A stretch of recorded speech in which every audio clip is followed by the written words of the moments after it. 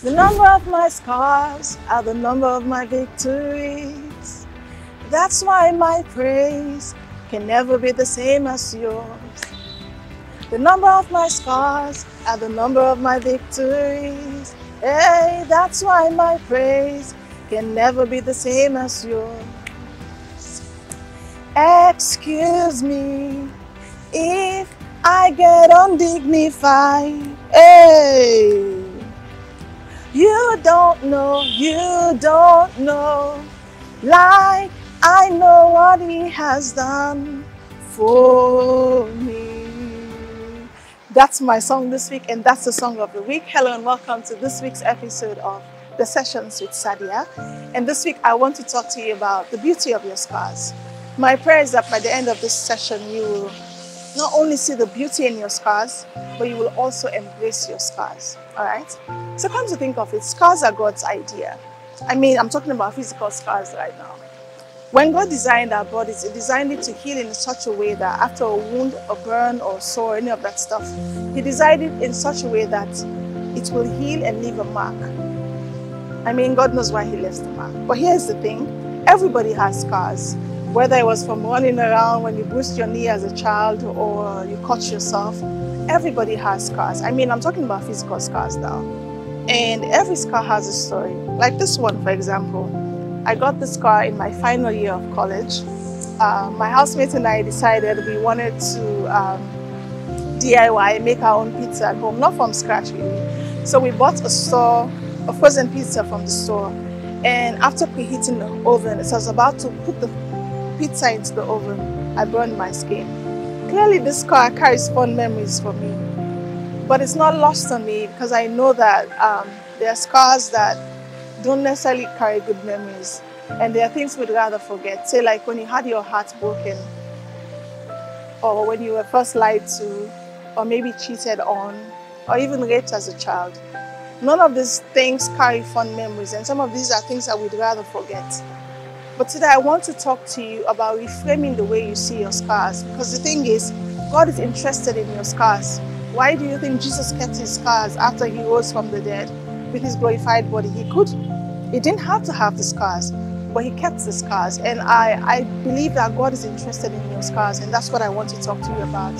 So today I want to want you to reframe the way you see your scar.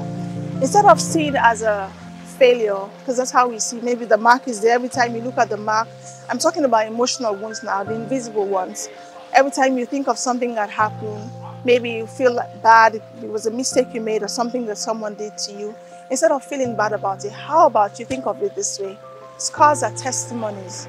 Like the songwriters say, the number of my scars are the number of my victories. So every battle you fought, whether your heart was broken, whether it was emotional or mental, whatever it is, whether it was in your relationship, these scars are reminders that you won, that God brought you out, that you're still alive. So think of your scars as testimonies, right?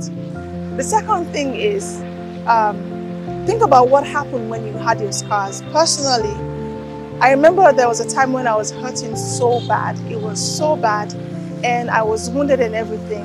One of the things it did for me was it drew me closer to God. And I look back and I and I, and I wonder sometimes that if there's anything, well, I don't know. I mean, God is sovereign, but think about it. I always wonder if I would have ever been this close to God if I hadn't gone through what I went through. So think of your scars this way. Scars draw us closer to God.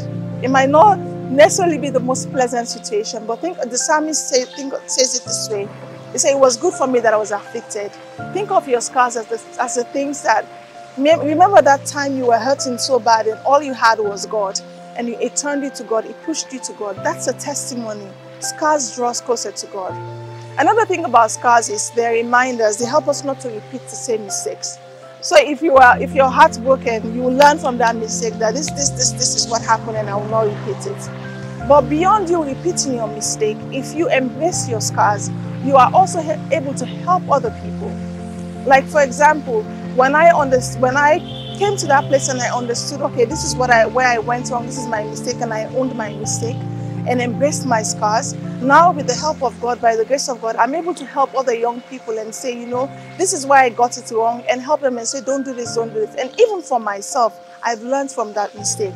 And until you embrace your scars, until you understand that this is not something to be ashamed of. Think of your scars. Uh, this is the person I used to be, but this is no longer who I am. Right? When you embrace that, then you can be able to help other people also. And finally, God can make something beautiful out of your scars. And I have a quick illustration for you. Some time ago, we visited the Letty Stewart um, Pottery Center at Waterloo. And as we were about to leave, the coordinator gave me this beautiful bowl as a gift. I mean, just look at it. This is beautiful, right? When I got home, I put it on my dresser, and then one day, in my quiet moment, the Lord started speaking to me. He said, Look at this bowl, right? Um, if you look at it, let me show you another bowl that's perfectly glazed. If you've watched the, the Potter's House, the documentary, you'll notice that the final stage in pottery making is the glazing part, where the, the cover, so the clay is now covered with this shiny material that makes it presentable and beautiful and all of that. This is an example of a perfectly glazed bowl, right? This one is an imperfect one, but a very beautiful one, right?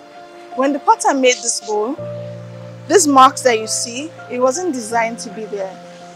These marks came as a result of spills. So if you think of it as mistakes that happened, it was a mistake that happened that turned out to be beautiful.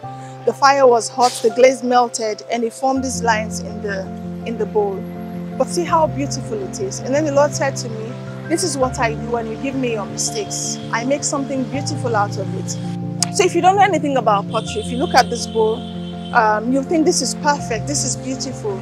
But I'm sure for master potter, when they look at this, they will see that, okay, this was a mistake. To you, it doesn't look like it. And that's what God does when we give Him our mistakes, when we give Him our scars. It makes it look so beautiful that people look at us and they know nothing. They can't tell from the way you look that this is what you've been through. You know how they say, um, how we normally say, I don't look like what I've been through? That's what happens when we give God our scars. I don't know what scarred you. I don't know what happened to you. But I know this much that if you will give God your scars, He will make something beautiful out of it.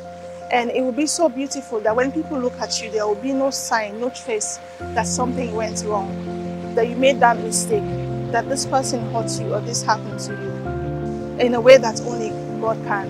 And I hope this message has blessed you. But if you're struggling and you're still, maybe you're in that place where you haven't healed yet, fully healed yet, and you're struggling with pain, I pray that the Lord will touch you, that He will heal you and make you whole. In Jesus' name. Thank you for watching. Until next time, God bless you.